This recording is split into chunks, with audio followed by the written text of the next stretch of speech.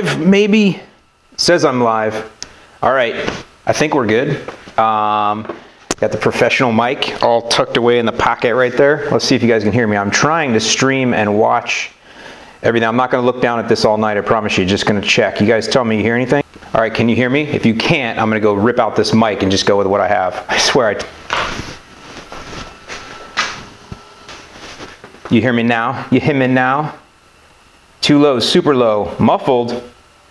Volume is low, but I can hear you. Super low volume. All right, well, we'll try one more time. Going on over there. Hopefully you could hear me now. Could you hear me now? I sound like the guy. Good, better. Oh, here we go. Much better. A little echo. I don't know about the echo. All right, turn your speakers down, I guess. Turn your headset down if it's bad, if it's too loud. Okay, I don't want to screw around anymore. So thank you for joining.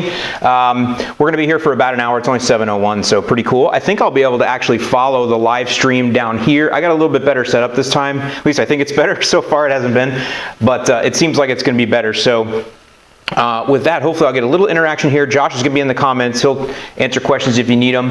Um, and I've got a little bit of an agenda here, so I want to follow it. So with that, I think the first thing we should do, though, is we should bust out a beer, right? I mean, right? So I've got some Cigar City here. Hold on, this these ice packs are not the best idea. I got this one in timeout because it got dropped before the live stream started, so we don't want to open that up. But this is just a lager that I've got here from local Cigar City over in Tampa.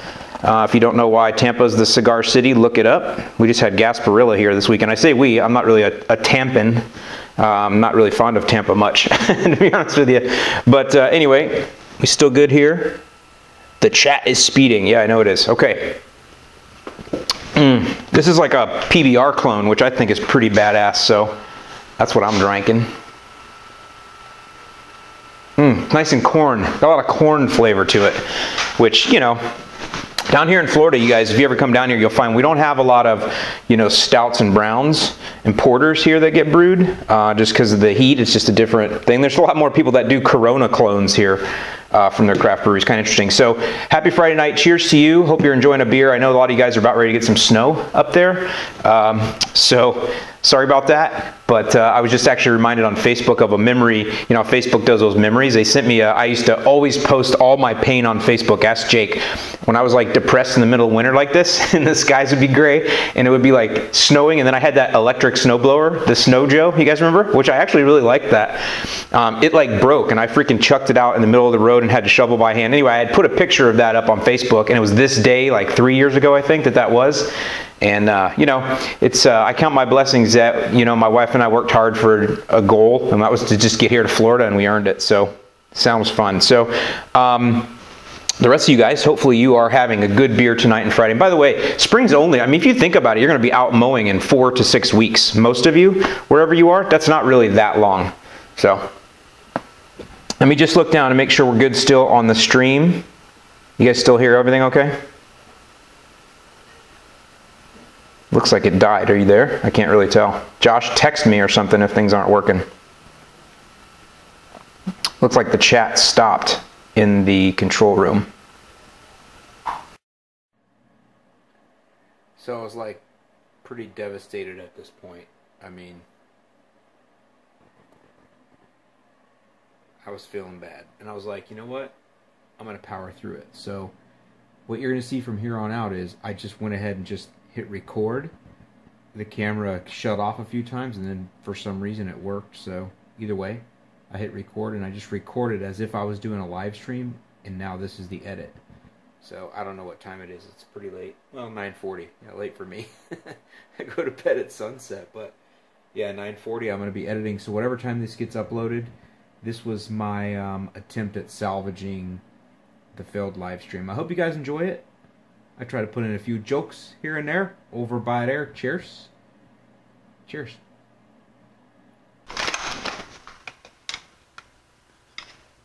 Test, test. Test, test, test. All right, well, so much for the live stream. um, I tried to restart it, it didn't work. So, this is supposed, this is a live stream for me, not for you. I'm drinking alone in my garage, kind of like I always do on Friday nights. So, some things never change. But anyway, I'm just going to shoot this straight, and uh, I'm going to do it like it's live. and uh, then go cry in my beer over my embarrassment. So, with that, um, let's talk about what we were going to talk about in our live stream, and then maybe I'll just do it on my mobile phone next time like I had been because it's easier. Okay, so a couple things. The first thing is I did want to give a sincere thank you to, to three folks that sent me some nice packages this week. Um, I'm not encouraging that, but those of you that sent that, thank you very much. Um, the first one is Mario Sayanez. You, he runs the Lawn Dogs Unlimited.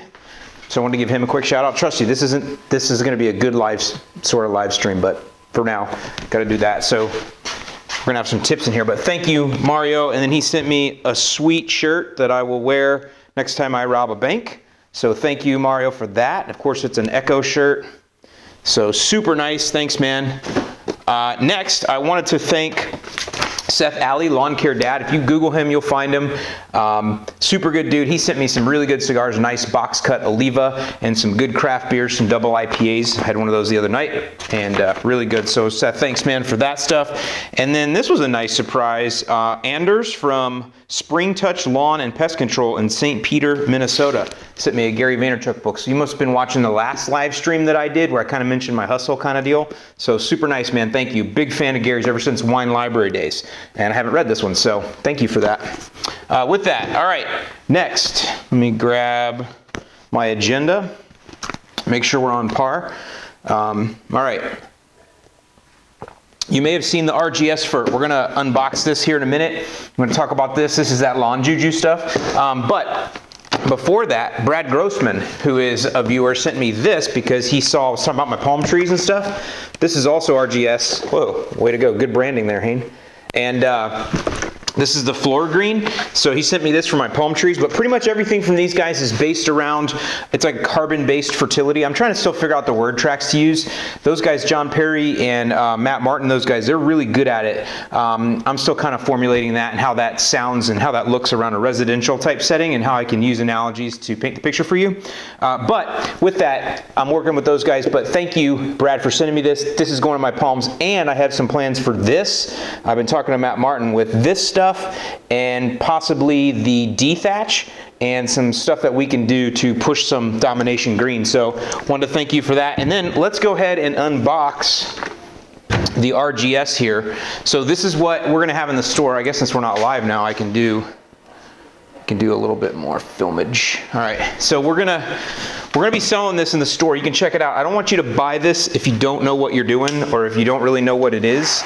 Um, but if you're familiar with the with these products, they have not been available to homeowners uh, until now. And I've been working with these guys and talking to them.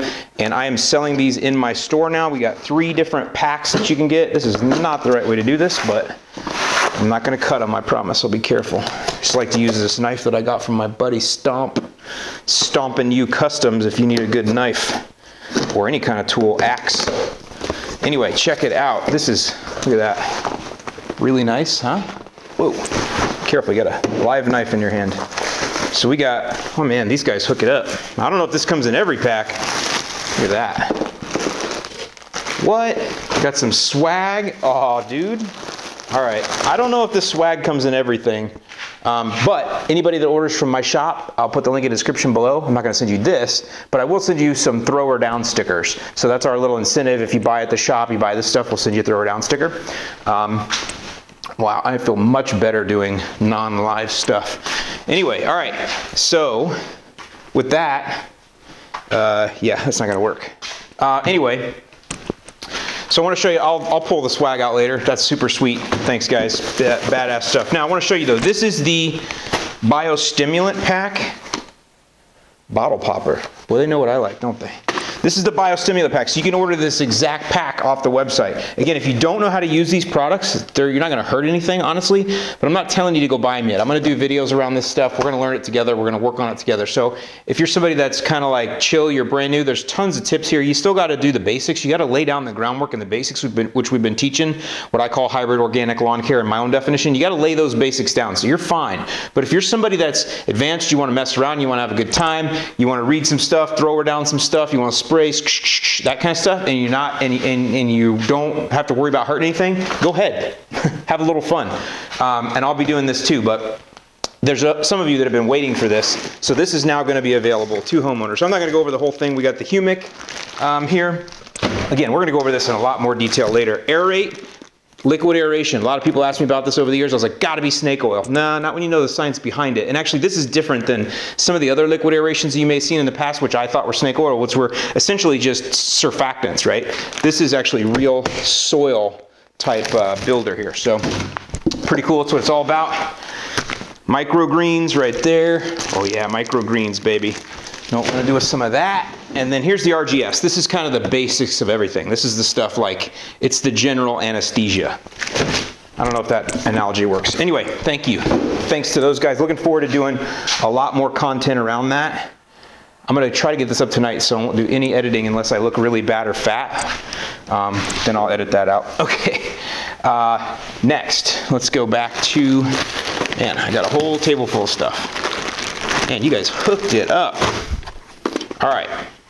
Hmm. Oh, man, that's good. Maybe I'll just check my text and see how embarrassing everything was. Pre-emergence, let's talk about pre-emergence, because that's really why we're here. Um, so you guys got the guide, and I got a bunch of questions from you, and so um, I'm gonna go over those. I got those here and highlighted, and I was really looking forward to doing this in the live stream, but again, I'm not gonna keep crying over that. Um, all right.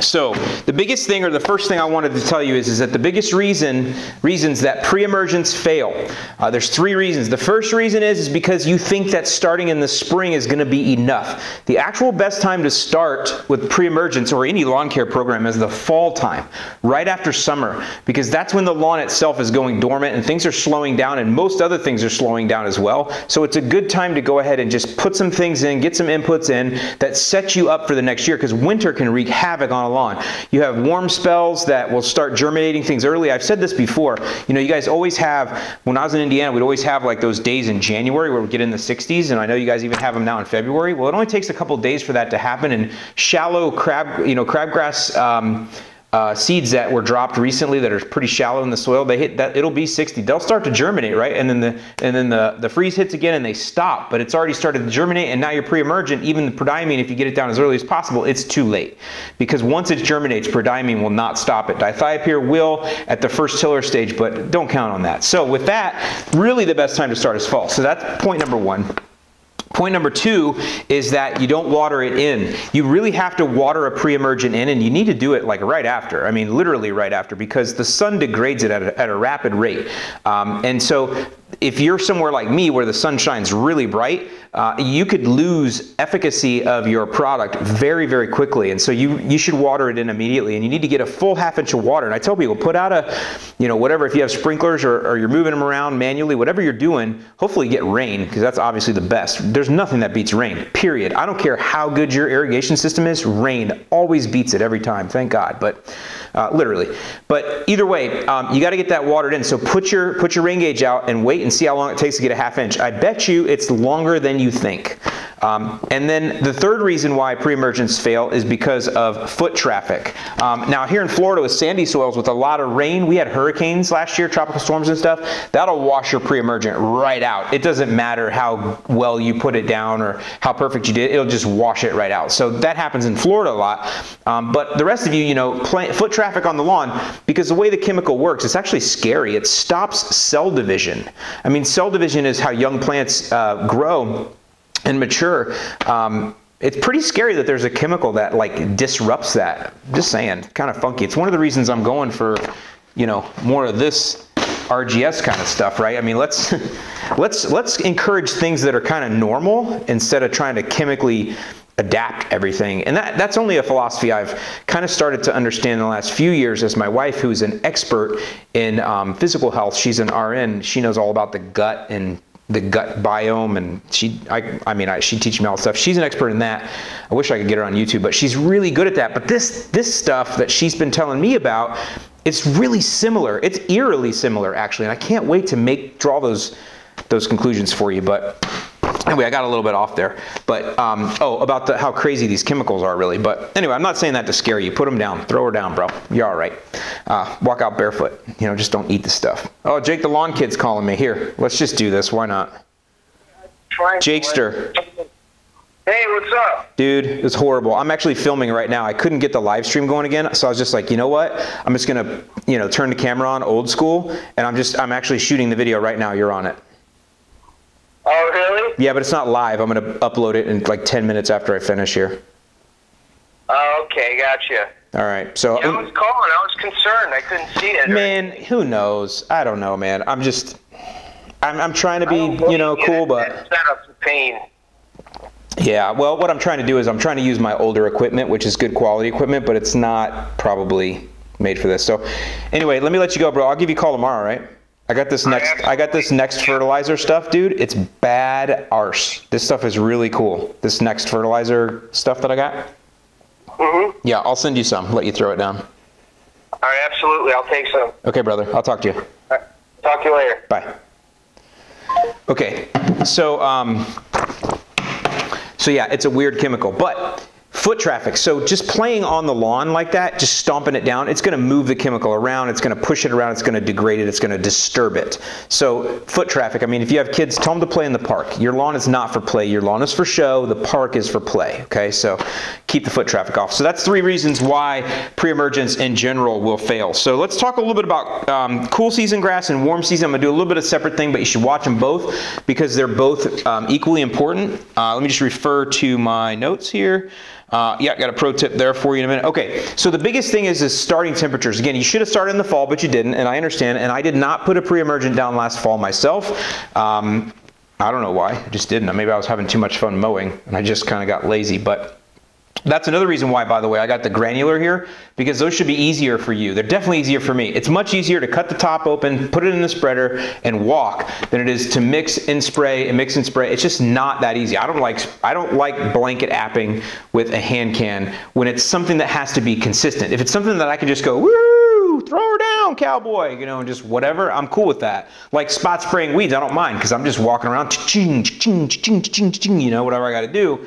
Um, Blankets I don't like. So granular for sure easier for us, right? So that should stop a big blocker for you guys, and that's why I recommend those products right there. By the way, I want to say too, DoMyOwn. They are they have been such a good partner. I work with them over there. Paul and Stephanie are incredible, um, great at communicating with me. We, we talk about the products that I want to talk through for you guys, um, and and I and I tell them, you know, this is what I want to do. Is this is this going to work? You, you know, can you give me some suggestions? You know, does this work better than that? You know, just things like that. But mainly, it's about just having good things supplied for you guys and this is it. Now, the Pennington, right now, they're out.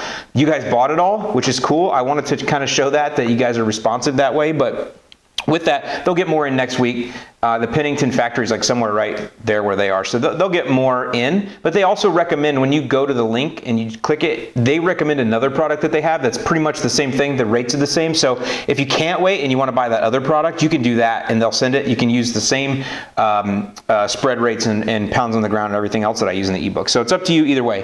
And then they got plenty of the high yield stuff. So all right, so crabgrass will start germinating when the soil temp hits 55 degrees.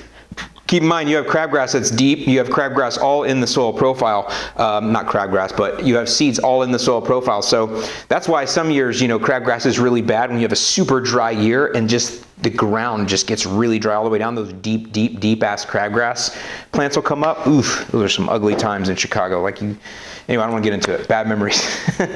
but um, so when the soil profile, you know, gets to 55, wherever that seed is, so really, ideally, you'd want to put your pre-emergent down when the soil hits 45 or 50. So that way, you're truly a pre-emergent. Because again, once it starts to germinate, it's and water hits it at that 55 degree temp, it's going to go. So I mean, we always say the forsythia. To me, that's the first up north. That's the first thing that blooms. Down south, I'm not really sure. Um, I mean, bougainvillea, but they, they bloom all the time. So like, I mean, I'm ready to apply right now, right now, you know, so you just have to kind of know when you're in the South like this, you just got to know your spot, man, or get a soil thermometer and actually measure it. Um, but only measure it an inch down because that's really where we care about. So with that, if the ground is not frozen and you're in doubt, just throw her down. So I wanted to talk about that real quick. Uh, and then we're gonna, I'm gonna give you a couple others and then we'll answer a few questions and we'll get out of here, but I need another beer. So I wanna thank you guys seriously for um, giving me a hard time on Twitter and probably on Snapchat, like I'm sure you're doing right now while I'm filming this. And I deserve every bit of it. And, um, you know, that's just how we roll, I guess. But the content is the content. and I'm hoping you're enjoying it.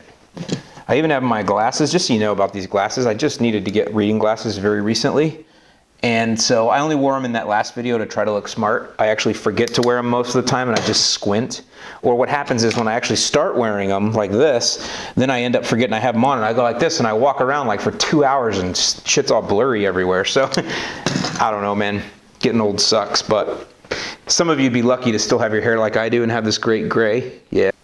Damn, that's a good beer. I'll tell you what, if you guys just like a good drink and beer, I don't I, I hope calling it a PBR clone wasn't a bad thing. I called it that before, but man, that's good. I just just like good beer. Oh man, it doesn't always have to be a hop bomb, you know what I mean? Okay, where were we at? Freaking A. All right, another pro tip. I always like to use a blade edger.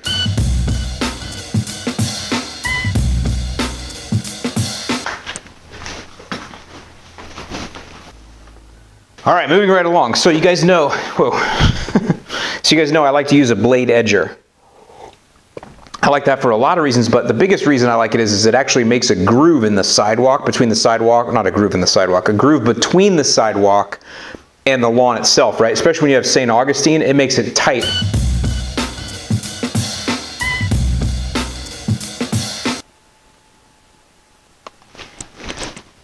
All right, well, I'm continuing to have technical difficulties, but I'm gonna, I'm gonna power through this. Jeez, man, freaking camera decides to just die. I think the whole camera is just taking a shit tonight. I can't even film regular now. I don't know what the hell's going on. Anyway, with the edger, it makes this groove around the sidewalk, right? And so because of that, it can it kills the barrier. Plus, you know, it kills the barrier because you're mechanically just removing it when you edge deep. Plus, on top of that, as you know, your sidewalks, they heat up sooner in the year than everything else, and that heat radiates out around them, as well as they heat up hotter in the summer at the peak heat, and that peak heat can get really hot, radiating out into the soil, and it can destroy the crabgrass barrier that you've put down. So what you can do is you can sweep granulars into those cracks after you edge here and there. Don't get nuts with it because too much you're gonna do harm. Or you can keep a little bit of liquid on hand Maybe in the summer you do a little bit of touch up around your edges. Either way, just be prepared for some, you know, some post-emergent crabgrass to get through along the edges. And if you're up north, you get a little quinclorac. If you're down here, um, you know, I got some some weed controls. Blindside, I recommend. That's pretty good on crabgrass. So, all right. Next, let's hope the camera holds out. Jeez, it's pretty bad when you can't rely on your equipment anymore. It's pretty bad, but I'm probably due for an upgrade. So, all right. Okay, Pennant Magnum. I did want to talk about that. What did I do with it? All right. So the Pennant Magnum for warm season. The reason we have this in here, um, it, I know this seems expensive and it's a liquid and it's, it's something you're going to have to blanket. But the reason I have this in here is for two reasons. Doveweed and sedges. It stops crabgrass. It stops everything else.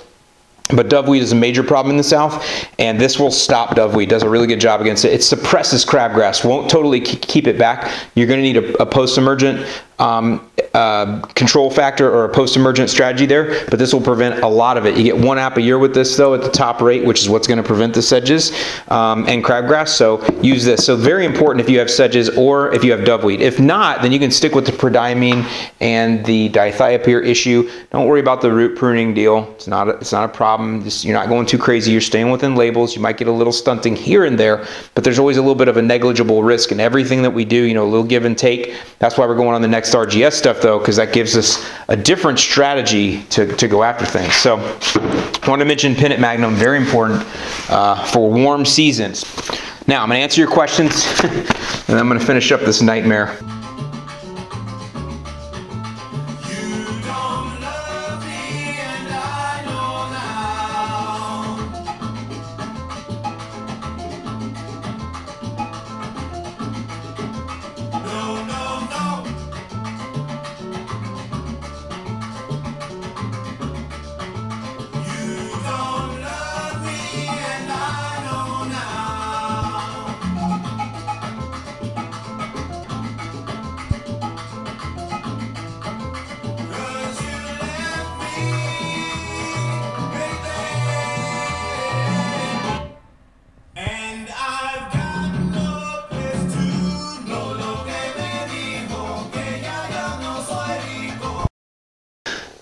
Okay, here's one real quick. This is not that. So this guy here, E. Alvarez sent me a picture of his St. Aug. and he said he got a little bit of uh, damage from blindside. Very common. And pretty much every time I spray blindside, I get a little heavy-handed. I get a little bit of damage. Um, if you get some RGS and you spray on that, it's like medicine. I'm gonna start doing that actually. Every time I spray weeds, I'm gonna spray RGS. It's kind of interesting. Um, it's kind of like putting a little salve. I think it's like a salve. So anyway, next warm season triple A. Triple A, how can I thicken up my St. Augustine? It's filled with dead grass and I want to dominate. Well, that's just winter right there, bro. That is that is kind of like winter like semi-dorm. My lawn looks like that right now. But keep in mind that, you know, grass exchanges its roots yearly. I don't know how many times a year, but roots live and die, live and die, live and die. It's just part of the cycle of life with turf. So some of that is normal. And actually, I kind of like mine to, to thin out a little bit. St. Aug can get unmanageable. And so sometimes it's good to let, I mean, sometimes I'll let the insects chew on it a little bit. I have some disease out there. I let that just run. I mean, thin it out a little bit, right? Survival of the fittest kind of deal. Um, also, with the RGS stuff, I know I sound like I'm pushing that stuff a lot. I am because I kind of believe in it. It's new science. It's really fun for me. It's interesting. It's better than just nitrogen, nitrogen all the time. But anyway, I'd put a little of that thatch digester on there. It's in one of the one of the four packs. I freaking eat that up. I mow the lawn first and then eat it up with some of that thatch digester that they have. Good stuff. All right, warm season, another warm season. We'll get some cool season questions here in a second. Michael Ho. Oh no, my Pennington Pro is back ordered. Yeah, all right. So yeah, I talked about that. They'll have um, another alternative for you, or they'll have more in the store next week. Not a big deal. Ryan Schultz, hey bud.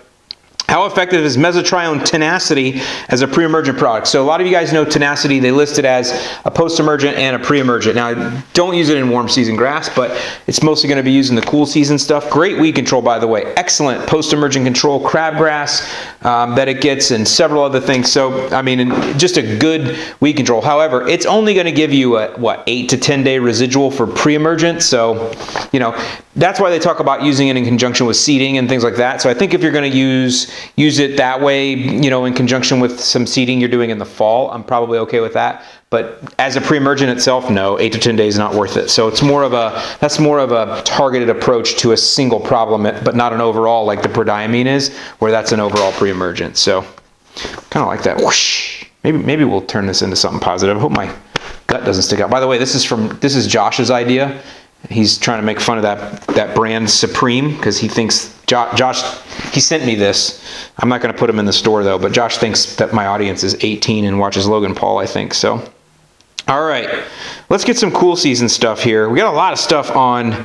Well, wait, here's one on Bermuda. I love Bermuda grass. And then we'll go through the last two years. I've been chopping down my doveweed infestation in my Bermuda lawn. I'm about to lay pre-emergent, but I also want to lay some seed. All right, so we're going to talk a lot about seed because that's where the majority of the questions that we've done have revolved around grass seed.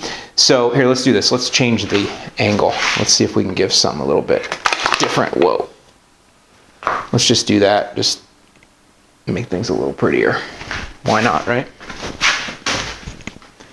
This is the one thing about not being live. I can change the camera angles, even though I didn't clean up over over there. I didn't clean up, so I don't really know. I don't know. Anyway. Okay, a lot of stuff about seeding. This is Bermuda seeding though, because obviously we don't really seed in the south. I mean, you can't seed St. Augustine. Zoysia seeds are kind of non-existent, and from what I hear, super slow growing. So Bermuda is the only thing that typically we're going to seed in the south, or turf type tall fescue in a transition zone. But for the most part, Bermuda is the only one we seed in the south. And I don't really recommend seeding it. I, I did it at my place in St. Pete as a complete start over. But if you have like even 15% Bermuda. Look at Matt, what Matt Martin did with his Bermuda. Wild Bermuda, like in his backyard, it's gigantic now. He flies his drone over it. I just want to roll in it. But if you just have even 15% Bermuda, it's alpha male turf. Trust me, if you start mowing it low and feeding it, it will go screw you and it will spread. If you keep chopping its head off, it'll be like, really? You're gonna keep chopping my head off? All right, well, I'm Bermuda grass. I'm gonna spread some arms. I'm gonna flex. You know, I'm gonna get swole, and that's what your Bermuda will do. Like literally, cut every four or five days and freaking chop it with nitrogen. Uh, it will, it'll, it'll show you some good stuff. Now, the other thing is though, with doveweed, um, don't seed. I'm telling you not to seed. I'm telling you to go with what you have, kill the weeds you have, and use this. This is gonna stop the doveweed. Now, doveweed's more, what, like June, July, depending where you live. So get this down. Uh, I would look at the soil temperatures, you know, go talk to some people locally, find out when doveweed typically germinates in your area and get there a few weeks ahead of time and you'll be good. And then, you know, I mean, you can kill doveweed with Celsius or you can kill it with blindside. Celsius slower, blindside's quicker. All right. Okay, here's an interesting. So we're going to talk about a lot about seed now. A lot of a lot of questions on seed. Okay. See, this is when I need my glasses. See, I have an excuse to look smart, like for real. And I'm not even using the, the excuse. Wait, let's just turn the lighting here. Look at this. I mean, I had I had lighting. I had lighting ready to go. I, I had the lighting ready. Somebody help me out. Okay. Richard Hall. Richard Hall. I slit seeded this past fall. Should I go down with the pre-emergence like you say in the book or should I wait till the grass comes up? So if you're telling me you, you seeded in the fall but it hasn't come up yet, then we're going to call that a dormant seeding and the answer is no. The answer is don't use the pre-emergence. It's going to kill all that. I mean, I, I would not have recommended that you do that because I don't recommend seeding in the spring at all, no matter where you are, guys, because of the fact that there are so many other things that you're going to have to contend with the rest of the year. The best time to start, remember, the best time to start a renovation or a lawn care program in general is fall. Now, you can start in spring if you have at least 25% grass, and this is going to answer a bunch of questions here.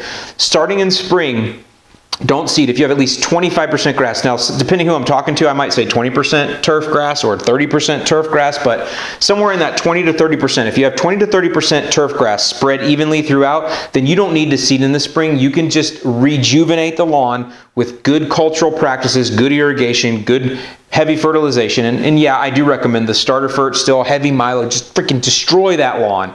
Just destroy it for a year and just beat the crap out of it with nitrogen and watch what it does. Then you're going to wean it off slow. Um, if you do that, you'll be fine. Don't seed in the spring. Down south, Definitely don't seed Bermuda in the spring, even though you kind of have to. That's the whole thing with Bermuda, right? You can't really seed it. Can seed it in the summer, I guess, but Bermuda has such a sun requirement that, that if you seed in the fall, even though I did it in St. Pete, it worked. I was lucky because I'm far south here, and St. Pete has its own microclimate, and we got a really warm, sunny winter that year. I don't recommend you do that. You're gonna, you're gonna have to put Bermuda seed down in like June, right? The worst time to seed, the horrible, just the worst. So sod it. In the south, you got to sod or plug, and I don't even recommend plugs. But I'm getting I, am getting off topic here, but.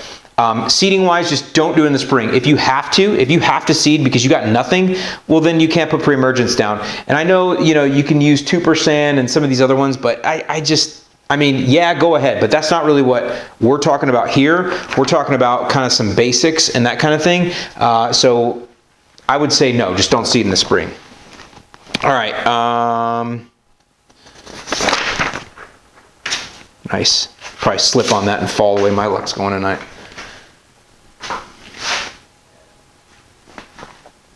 All right.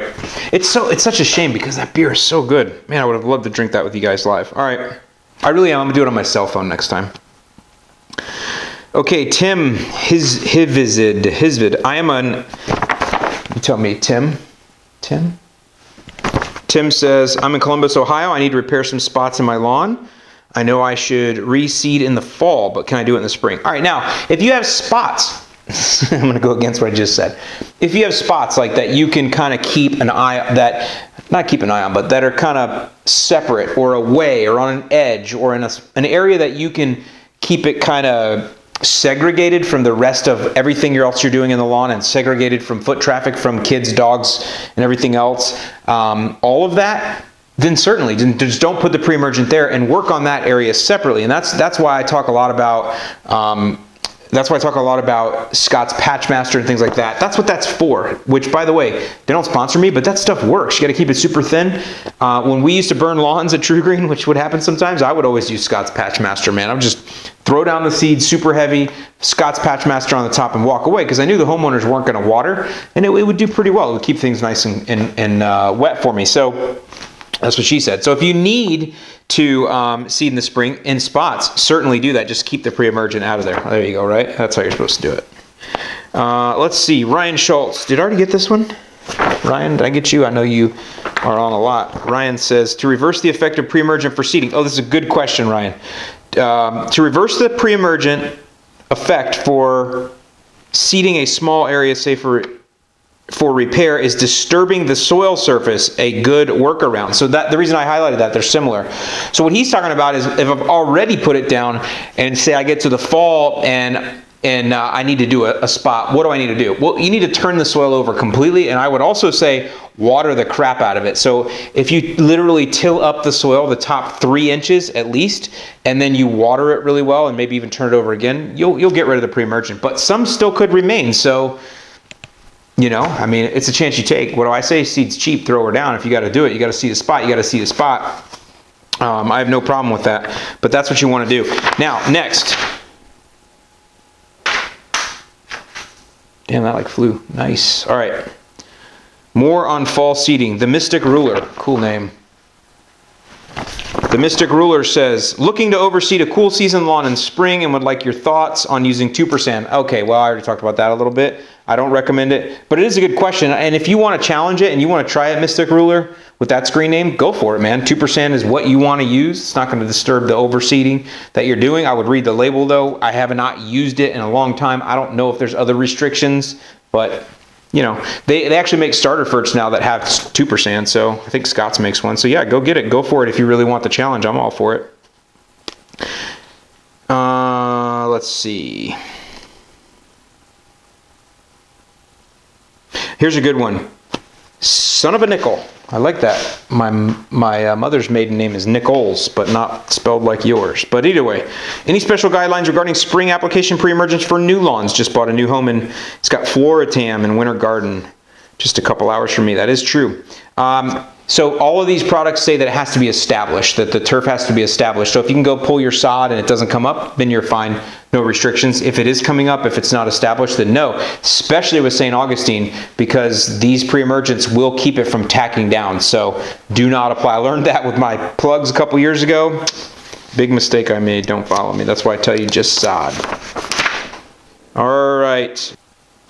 All right, here's a good one. Thomas, great question. And these are the kind of questions that I want because a lot of you guys are, are more advanced and some of you are just coming into this. I mean, so many of you tell me that you found the channel recently, you know, and I love it that you're jumping in. So I don't know if that's you, Thomas, but you're asking me, does Hi-Yield grass stopper, which is Dimension or dithiopyr, does, does that product control weeds such as creeping Charlie and plantain? The answer is no. Um, it's definitely not creeping Charlie. I don't know if it's labeled for plantain. I don't think so. Um, but I think what your question references is if they're already up. And the answer is no. If they're already germinated, no. No, it's really crabgrass, foxtail, um, things like that. Uh, signal grass if you're down south. I'm not really sure where you are, but for sure it's not going to control creeping Charlie. So you're probably up north because of that. So no, it's a pre-emergent for other issues. However, if you have a lawn that's infested with creeping Charlie, mm, you know, I mean, crabgrass in there ain't going to be a good thing. So keep that out and then work on the Charlie. Joe Swanson, what's up, brother? Joe says, I live in Maryland and we got unexpected snow. I don't know when to start my lawn plan. Uh, I took the temp of the soil. Good job, Joe. And it was above 40, and it may not stay like that. Yeah, this. So I think I mentioned this earlier.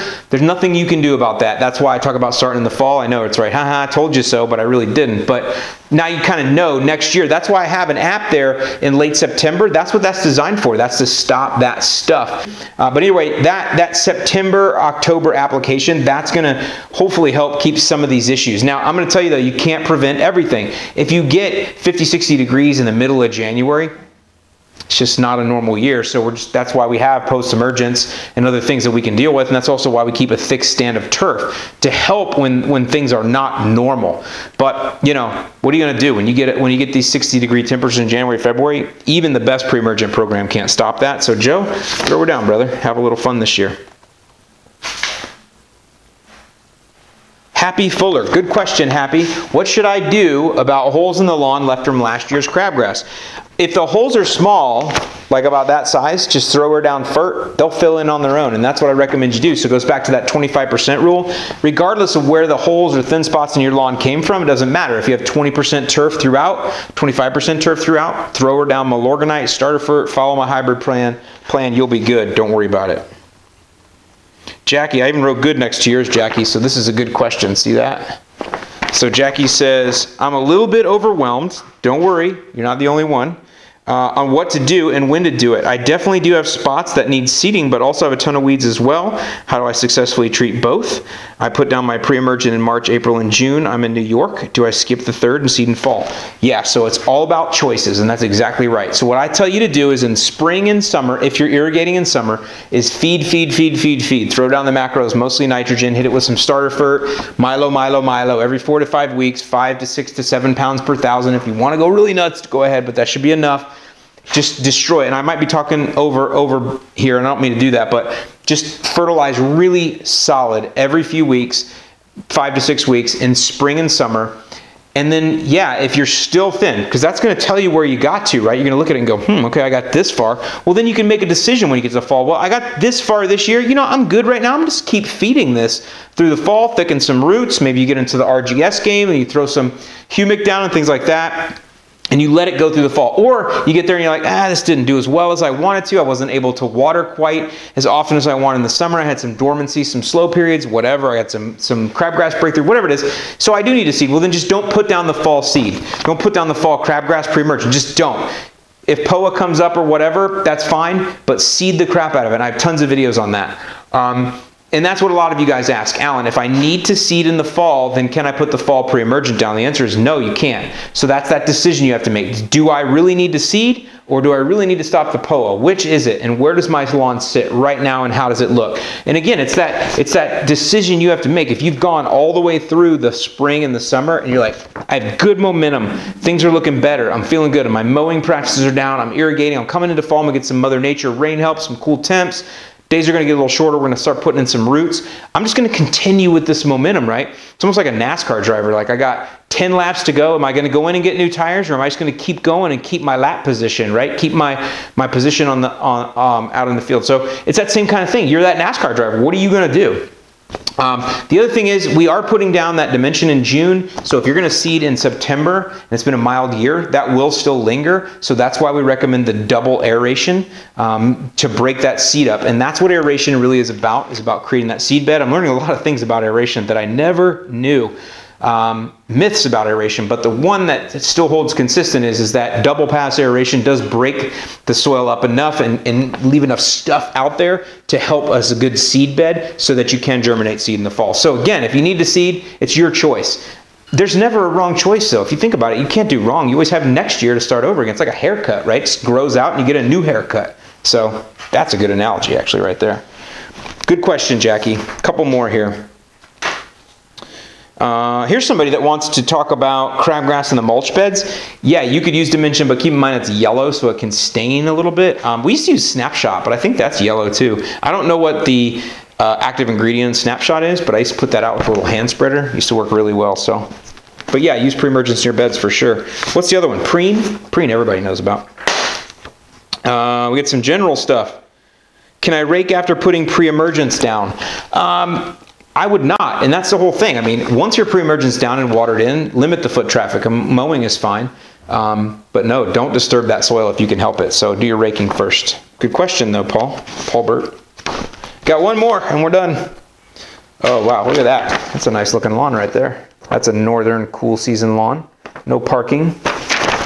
So that's Michael Bono. Michael says, my question is, what pre-emergent and at what rate should I be applying to not kill off my KBG Kentucky bluegrass or discourage rhizome root development, well, rhizome development that will thicken my lawn. Yeah, so, man, I'm not going to go into this too much, but they talk about some of these two-way pre-emergence here that can um, slow down the development or thwart the development of roots or rhizomes under the ground. Don't worry about it, especially if you're going to go on this RGS like I am. It's like a salve. You put that in there, your roots are going to outgrow any kind of chemical problem. So these these chemical these products, I like the word chemicals, they're labeled for these applications. They're just fine. You're going to be okay. You're not going to discourage anything. Now, if you don't have a crabgrass problem, don't put down a crabgrass pre-emergent. My lawn in Indiana, I didn't put down, I mean, go, go look and see if you ever saw me put down crabgrass pre-emergent. I don't think I ever did. I just never needed it because I started that from bare ground. It was clean soil. I had it, you know, prepared properly, which properly was no topsoil. It was just give me a finish grade on this beautiful clay because I love clay and bring in any extra crap and I seed it over top of it and it and you saw my lawn. So I don't I didn't have to use pre-emergence because I didn't have a crabgrass issue. The last thing I'll say is if you have a shady lawn, you probably don't have crabgrass either. Crabgrass is typically a sunny area problem, so don't put the pre-emergent in the shady areas because of the root pruning. Because in a shady area, your grass is a little weaker anyway because grass needs sunlight to grow in case you didn't know, part of photosynthesis. So in a shady area, even if you have a shady grass seed, it still could do better in sun for the most part if it had some. So it's a little weaker. Uh, and in general, those, those turf types are a little bit more sensitive. So don't put pre-emergent there because that's where the root pruning actually can cause you an issue. So there you go. I hope that was helpful to you. And with that, I'm going to go ahead and cut this off because it's been forever. So thank you all for your patience. I hope this has been helpful to you. Helpful links in description below. I'm Allyn Hane, the Lawn Care Nut. Thanks for watching. Cheers, and I'll see you in the lawn.